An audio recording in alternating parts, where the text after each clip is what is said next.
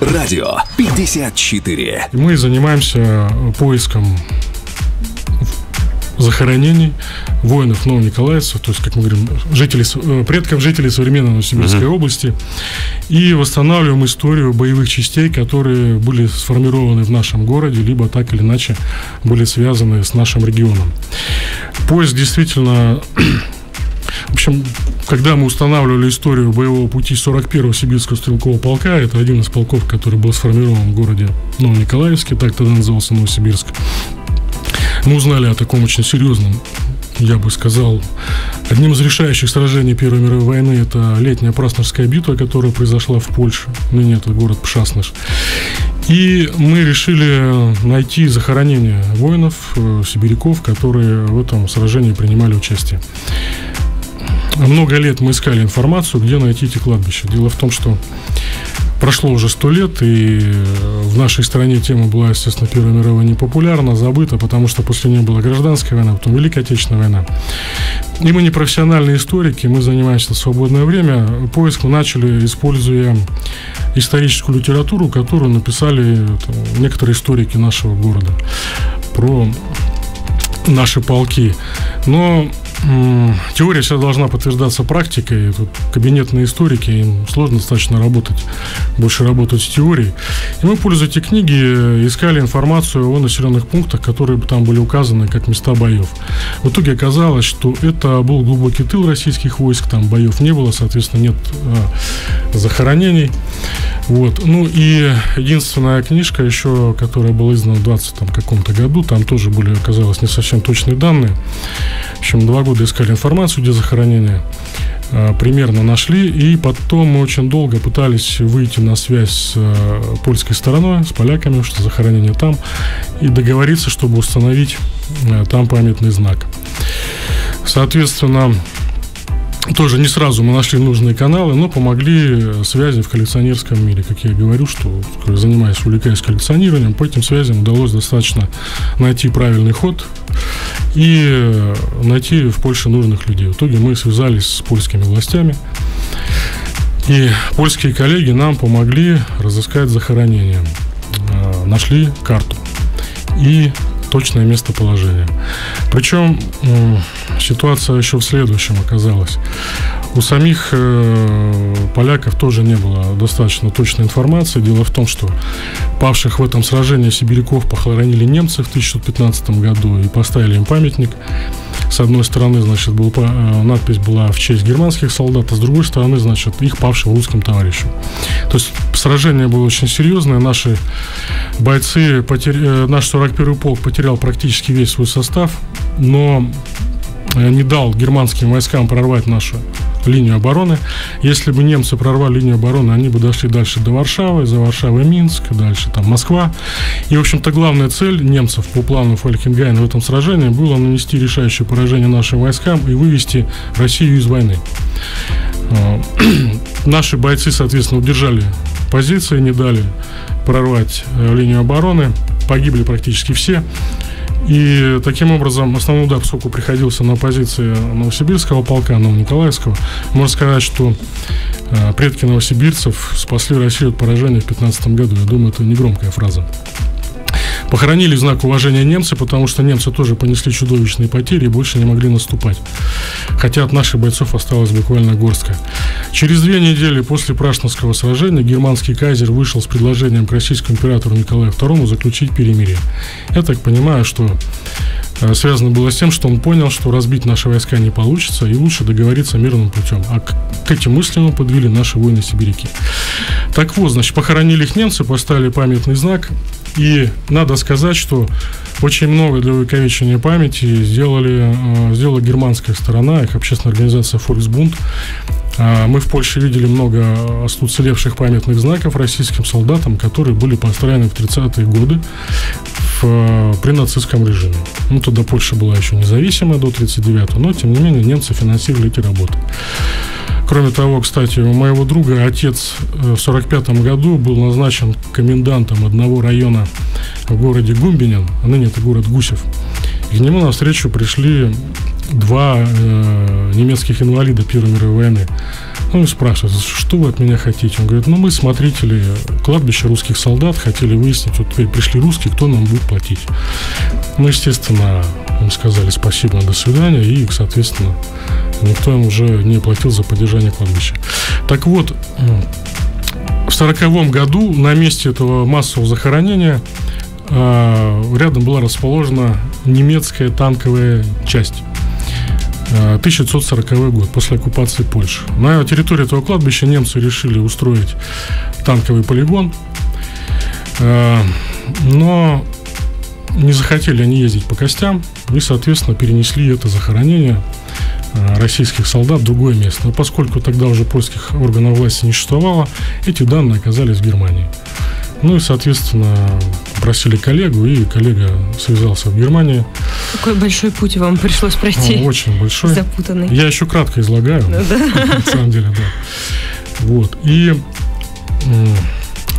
сын немецкого офицера, который э, в 45 году погиб в бою с нашими солдатами, причем а, дивизия, в которой он служил, она воевала, так сложилось, с э, уроженцами тоже Новосибирской области, Западной Сибири. И наши бойцы при освобождении Польши, они этого, значит, немецкого офицера убили. И вот его сын, э, когда узнал, что вот россияне ищут захоронение своих дедов, отцов, там сказал, ну я понимаю, я тоже потерял отца, я вам помогу. Он за свой счет съездил, разыскал карту, информацию, передал. И так э, мы узнали информацию, где лежат бойцы, погибшие в Краснодарском сражении 41-го Николаевского полка и 42-го полка Эстонска. Это вот такой длинный тернистый путь. Это прям немножко похоже даже на работу следователя, мне кажется, потому что найти одного, потом, потом другой, все через связи как-то. Только так. Очень, очень большая работа, да. конечно, и видите, как э, все срабатывает, помогает, помогает разные аспекты и, жизни. И помогают и совершенно разные и, люди, да, от которых, казалось бы, ты не ожидал этой помощи. Связи да. Э, и среди историков, но и среди коллекционеров. И так вот раз, раз, веточка за веточку, и что что-то получается. Самое сложное, я так понимаю, это было вот как раз э, найти, Само место, да? с концами. Найти нужных людей, а, ну, потом людей. найти нужное место и потом договориться. Чем э, занимается сейчас э, клуб? Ну, такое самое, самое крупное, э, что, что-то такое похожее. Ну, в настоящее время, поскольку мы занимаемся этим в свободное время, времени очень мало, мы собираем артефакты с целью открыть свой там, частный небольшой музей воинов новониколаевцев, а также мы составляем списки наших земляков, которые принимали участие в Первой мировой войне в рядах полков, связанных с нашим городом. То есть формированных здесь, либо еще как-то в основном из наших э, земляков. Вот, собственно. Ведь это очень важно, действительно, потому что в Новосибирске нет э, такого музея, посвященного вот этому полку. И что есть у вас из э, артефактов? Ну, на самом деле, не, не так уж много, но у нас есть награды э, чинов наших полков, которые были сформированы у нас, их личные знаки, личные вещи, э, фотографии, личные письма, э, книги из полковой библиотеки. И самые бесценные находки, самые бесценные предметы, это, конечно, вещи, найденные на полях сражения наших полков в Польше, в Латвии и в Беларуси. Это то, что непосредственно держали в руках наши земляки. Поисковики, да? Э, найдено поисковиками, mm-hmm. да, конечно. А жители Новосибирска что-то приносят? И все-таки есть еще вот эта вот традиция, так же, как э, с Великой Отечественной войной связанная, да, и из поколения в поколение передавать какие-то истории, какие-то вещи? Ну, нам э, присылают информацию. Чаще нам, знаете, потомки обращаются за помощью. Они сами ничего не знают и просят узнать о своих предках. Уже нескольким сотням людей мы помогли. Мы говорим сейчас именно о поиске предков участников Первой мировой войны. Все, кто заинтересован э, в поиске информации о своих предках, которые принимали участие э, в этом событии, они все понимают, с какой сложностью они сталкиваются. Э, не сохранилась информация даже в семьях и так далее. Так вот, что же делать, чтобы найти? Ну, самое первое, необходимо расспросить всех э, живых родственников, все воспоминания и так далее, собрать максимальный э, перечень информации о своем предке. Это фамилия, имя, отчество, Безусловно, это место фамилия, проживания. Имя, фамилия, имя, отчество, место проживания на момент призыва, хотя многие даже этого уже не знают. Дату рождения желательно, многие тоже этого уже не знают, но это очень важно.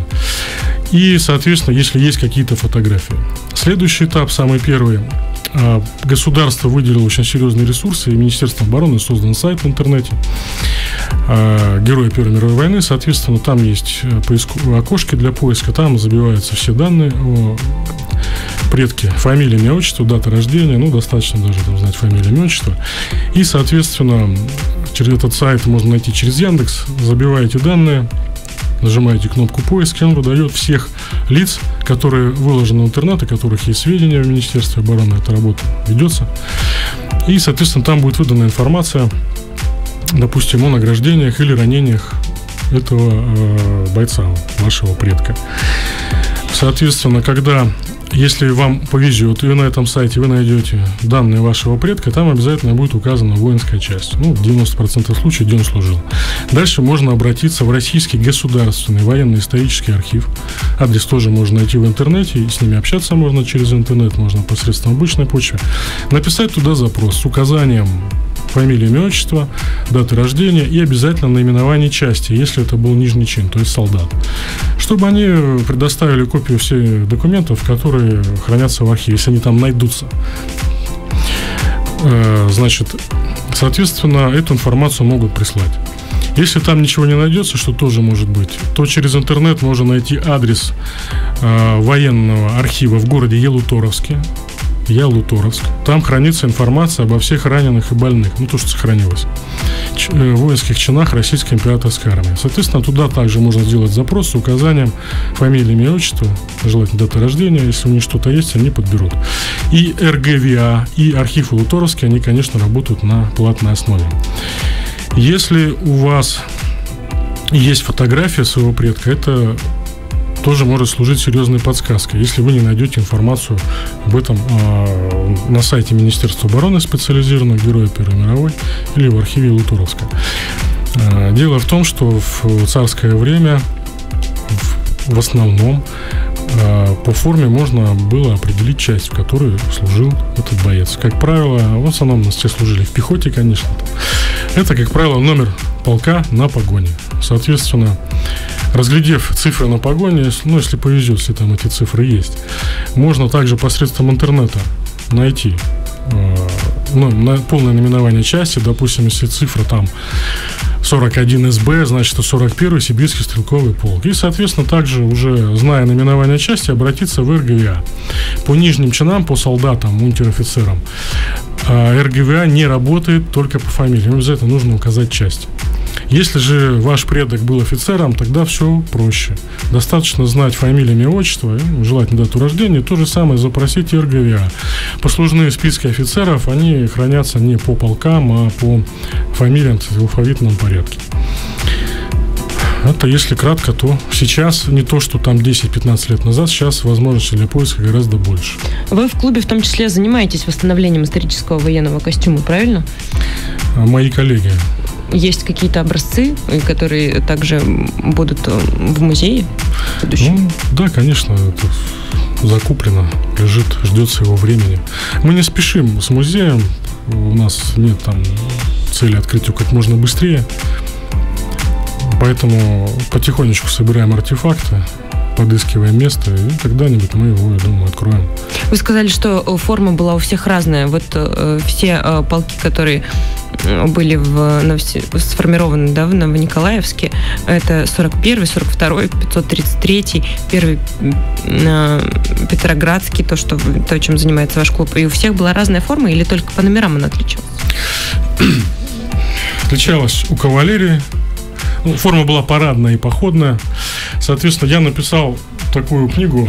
Она издана при поддержке Оргкомитета Победы, при поддержке губернатора. Mm-hmm. Называется «Новом Николаевском военном мундире». Книжка, конечно, далеко не идеальная, но это первая и пока что единственная книга, где собраны максимальное количество частей, сформированных и квартировавших в нашем городе с 1904 по 1919 год, и сведения об их униформе.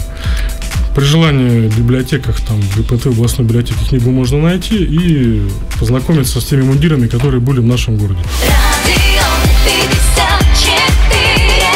Твой дом, твоя область. Новосибирск, 106 и 2 FM.